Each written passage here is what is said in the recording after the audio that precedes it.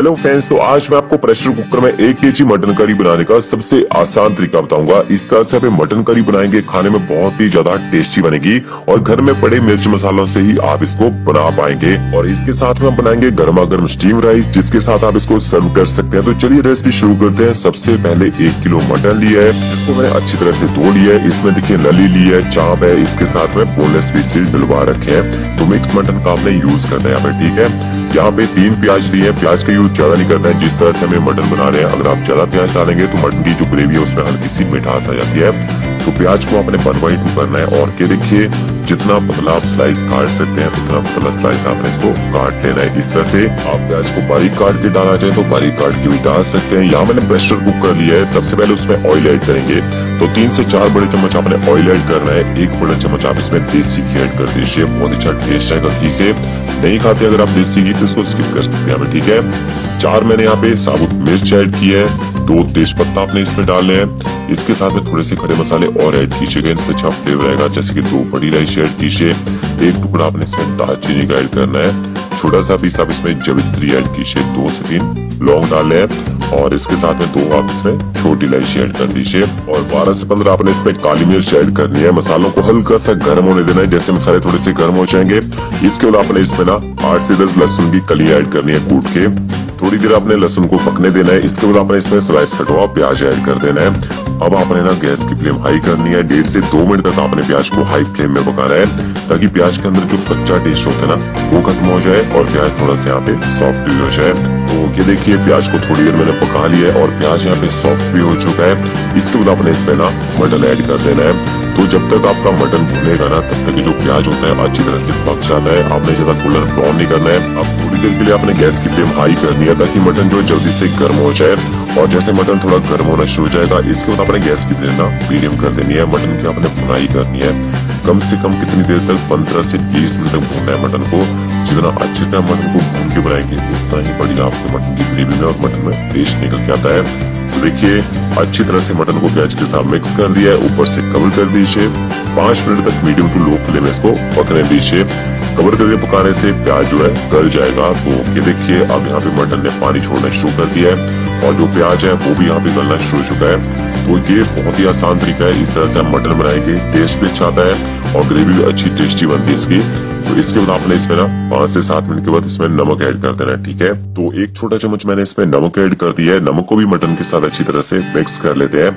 अब मैंने गैस की फ्लेम ना हाई कर दी है, क्योंकि प्याज जो है, जब हमने इसको कवर करके पकाया था सॉफ्ट हो चुका था, इसको हाई फ्लेम में पकाएँगे तो प्याज पूरी तरह से मैश हो जाएगा, इसकी ना ग्रेवी बन जाएगी। तो यहाँ पे मुझे टोटली पंद्रह मिनट हो चुके हैं मटन को भूनते और ये देखिए आप देख सकते हैं, अच्छी तरह से जिसमें पानी था सूख चुका है और जो प्याज है पूरी तरह से यहाँ पे गल भी चुका है। इसके बाद आपने इसमें अदरक लहसुन का पेस्ट ऐड करना है। तो एक बड़ा चम्मच मैंने अदरक लहसुन का पेस्ट ऐड कर दिया है। जब भी हम मटन बनाते हैं, अदरक और लहसुन की क्वांटिटी आपने बराबर लेनी होती है पेस्ट बनाने के लिए, ठीक है? तो अदरक लहसुन के पेस्ट को भी मिक्स कर दीजिए और अच्छी तरह से पका लीजिए। ताकि इसका जो स्ट्रॉन्ग फ्लेवर है, वो खत्म हो जाए। तो जिंजर गार्लिक पेस्ट को भी अच्छी तरह से पका लिए। अब आपने मसाले ऐड करने हैं। थोड़ा सा हल्दी पाउडर ऐड कीजिए। एक छोटा चम्मच आपने इसमें कश्मीरी मिर्च पाउडर ऐड करना है। इससे कलर अच्छा आएगा मटन की ग्रेवी में। और धनिया पाउडर ऐड करना है। वो एक छोटा चम्मच भर के मैंने इसमें धनिया पाउडर ऐड किया है। एक छोटा चम्मच जीरा पाउडर ऐड करेंगे। थोड़ी सी आपने इसमें कसूरी मेथी डालनी है। कसूरी मेथी को आप लास्ट में भी डाल सकते हैं। और आधा चम्मच आप इसमें गर्म मसाला पाउडर ऐड कर दीजिए। होममेड गर्म मसाला पाउडर का यूज़ किया है। आधे से थोड़ा सा कम चम्मच मैंने इसमें लाल मिर्च का पाउडर ऐड किया है मटर को तीखा करने के लिए। और जो एक छोटा चम्मच भर के हमने कश्मीरी मिर्च ऐड की है, वो कलर के लिए यूज़ की जाती है, ठीक है?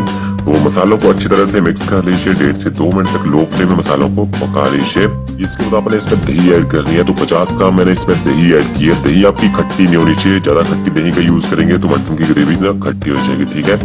दही को अच्छी तरह से आपने फेंट के डालना है और अच्छे से मसालों के साथ दही को भी मिक्स कर लीजिए। अब अगर आपको दही ना हो तो दही की जगह आप टमाटर पीस के इसमें डाल सकते हैं। तो दही को मैंने मसालों के साथ पका लिया, अब आपने इसमें पानी ऐड कर देना है। तो जब भी आप मटन को पकाने के लिए पानी डालें, गर्म पानी का आपने यूज़ करना है ठंडा पानी डालना है, एक तो ठंडा पानी टेस्ट को खराब करता है, दूसरा उससे ना मटन बहुत ज़्यादा हार्ड हो जाता है दोबारा से, उसको पकने में टाइम भी ज़्यादा लगता है। तो गर्म पानी डाला है मैंने यहाँ पे और पानी को अच्छी तरह से मिक्स कर देते हैं। पानी कितना डाला है? मटन के लेवल में ही आपने पानी डालना है, ज़्यादा पानी की यूज़ नहीं करना है। अगर लास्ट में लगता है ग्रेवी ज़्यादा ही थिक हो रही है, थोड़ा सा गर्म पानी लास्ट आप डाल सकते हैं। अब यहाँ पे टमाटरों का भी मैं यूज़ कर रहा हूँ तो टमाटर देखिए, तीन टमाटर लिए और हाईब्रिड टमाटर का आपने यूज़ करना है, वो खट्टी नहीं होती ज़्यादा। टमाटरों की ऊपर वाली सतह में आपने ना कट लगा देना है, नीचे से उसकी जो डंडी होती है, उसको काट देना ठीक है? और टमाटरों को साबुत ही डालना है इस तरह से। तीन टमाटर डाल दिए, देखिए मैंने। प्रेशर कुकर को ऊपर से कवर कर दीजिए। और गैस की फ्लेम आपने ना हाई करनी है। एक बिस्ल आपने हाई फ्लेम में लगवानी है। उसके बाद आपने इसको ना 12 मिनट तक लो फ्लेम में पकने देना है। कि देखिए, हाई फ्लेम में यहाँ पे एक बिस्ल आ चुकी है। एकदम लो फ्लेम में आप इसको 12 मिनट तक पकने दीजिए। अगर उस टाइम तक मटन नहीं पका होगा तो फिर आप बिसल लगवा सकते हैं, बट इतनी देर में मटन के बाद ना पक जाता है। अब मैं आपको बताता हूँ, होटल और रेस्टोरेंट में चावल कैसे बॉईल करते हैं। यहाँ पे देखिए, पानी बॉईल कर लेना है। पाँच से छह लौंग ऐड कीजिए। थोड़ा सा आपने इसमें नमक ऐड करना है। जब तक चावल पकेंगे ना, उसके अंदर तक नमक अच्छा टेस्ट आ जाता है। इसके चावलों को मैंने 20 मिनट तक भिगो के रखा था। उसके इनका जो पानी उसको निकाल दिया है और पानी में चावल डाल दिए है। गैस की फ्लेम हाई कर देते हैं और चावलों को एक बार अच्छी तरह से आपने हिला भी देना है, ताकि इसके लम्स ना बने। हाई फ्लेम में बॉयलर तक आपने बीट करना है। जैसे बॉयल आ उसके बाद आपने चावलों को ना नौ मिनट तक पकाना है, ठीक है? नौ से दस मिनट लगते हैं। यहाँ पे देखिए, छह बज के आठ मिनट तक मैंने चावल डाले थे। छह बज के सत्तारह मिनट तक हमारे चावल अच्छी तरह से बॉयल हो चुके हैं। इनको छान दीजिए छानने के बाद आपने इनका अच्छी तरह से पानी निकलने देना है और इनको ना दोबारा से उसी बर्तन में डाल दीजिए जिसमें आपने चावलों को बॉइल करके रखा था। ऊपर से चावलों को कवर कर देना है। इससे चावल सॉफ्ट भी रहेंगे और अच्छे गर्म भी रहेंगे और यहाँ पे मटन को पकते हुए लगभग बारह मिनट हो चुके हैं। उसके बाद देखिए स्टीम नहीं निकालनी है। जैसे स्टीम खत्म हो जाएगी, आप ढक्कन हटाइए। और ये देखिए जो हमने इसमें टमाटर डाले थे, इसके जो छिलके होते हैं ना इन छिलकों को आपने निकाल देना है। गलते नहीं है मटन में, और छिलके निकालने के बाद आपने ना गैस की फ्लेम चालू कर देनी है, और यहाँ पे मटन को आपने ना तीन से चार मिनट तक पका लेना है, और हाई फ्लेम में पकाना है। अगर आपको लगता है यहाँ पे मटन थोड़ा कच्चा रह गया है तो आप इसको फिर से कवर करके ना विसल लगवा सकते हैं। और ये देखिए, मटन अच्छी तरह से यहाँ पे पक चुका है अच्छा सॉफ्ट मटन बना है, और जो हमने टमाटर इसमें ऐड किए थे, वो भी अच्छे से मैंने पका लिया है। थोड़ा सा बारीक कटा हरा धनिया ऐड कीजिए, अच्छी तरह से धनिया को मिक्स कर दीजिए। तो हमारी प्रेशर कुकर मटन करी तैयार हो चुकी है। इसको गर्म गर्म राइस के साथ सर्व कीजिए। तो फ्रेंड्स अगर आपको मेरा वीडियो अच्छा लगेगा लाइक शेयर ज़रूर कीजिएगा। Okay friend thank you